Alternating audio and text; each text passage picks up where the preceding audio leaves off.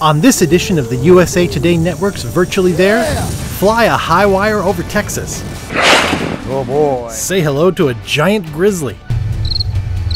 And marvel at an American desert paradise. Tethered on, cool, ready?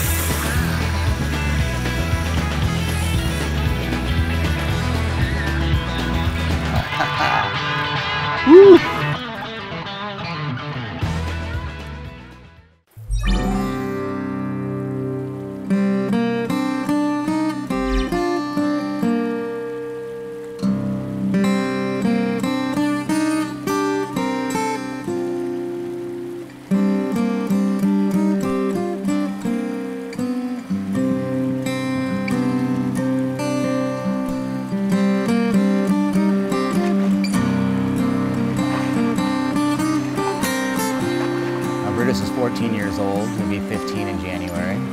Oh boy. One of the coolest things I get to do with Brutus is actually take him away from the sanctuary and give him a little bit of what a wild grizzly bear would experience.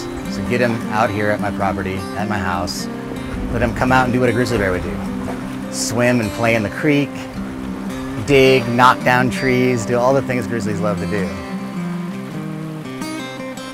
Show him how big you are. Good. Good boy. Good boy. Come on. You can do it. You can do it. Come on up here. Come on up here.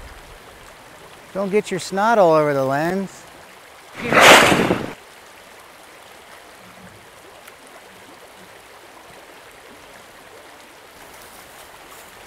When an animal has the sense of smell seven times stronger than a bloodhound, everything is new and interesting.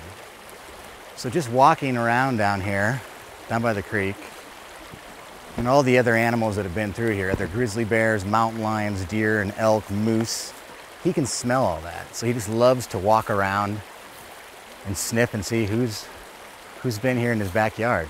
Isn't that right, buddy? Isn't this fun?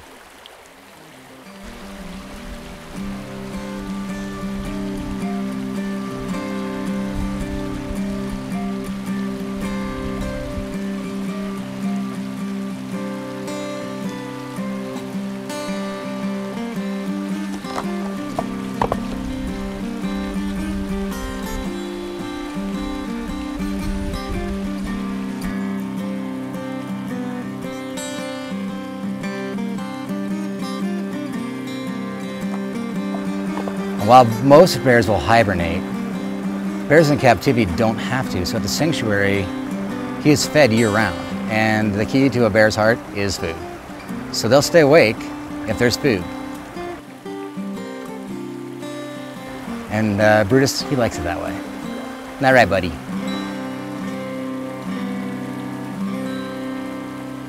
Good boy.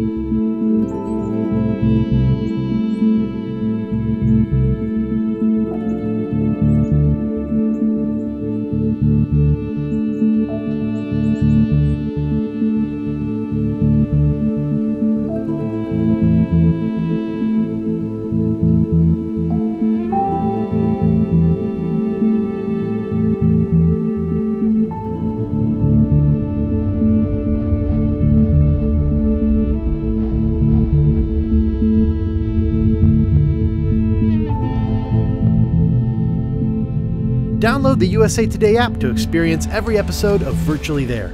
You can also subscribe on YouTube. See you next time.